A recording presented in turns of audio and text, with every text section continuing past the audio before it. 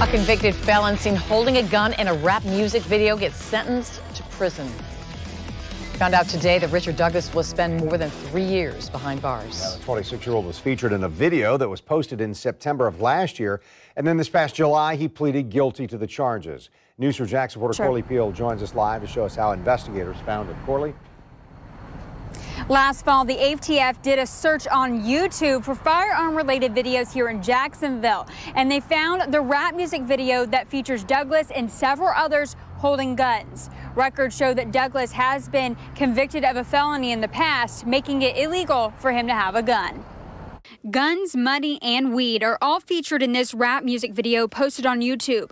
Investigators say the video, titled Kill or Be Killed, landed 26 year old Richard Douglas in federal prison. The previously convicted felon is sentenced to 41 months When you out there in it's to be killed. after he was seen holding a pistol in the video. He knows he's a convicted felon. He knows that he's not supposed to have a weapon. So he actually made it easy for law enforcement. News4JAX crime and safety expert Ken Jefferson says it's common for police to make arrests after seeing people commit crimes in music videos.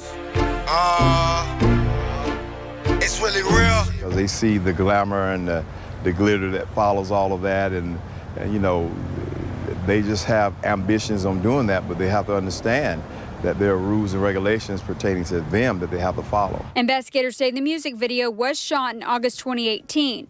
A month later, police searched a home for narcotics that matched the music video shoot location. During the search, police say five guns were recovered. One of them appeared to be the same Zastava pistol Douglas used in the video.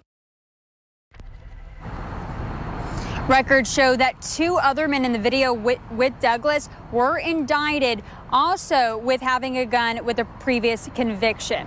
Reporting live, Corley Peel, Channel 4, the local station.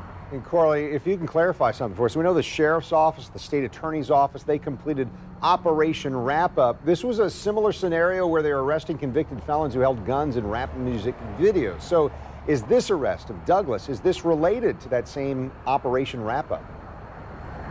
Well, although this is a similar scenario, Douglas's arrest is not linked to Operation Wrap Up. Now, we did check on where the six other arrests, where their cases stand, and we with Operation Wrap Up, and we have all of that information on our website at news4jax.com.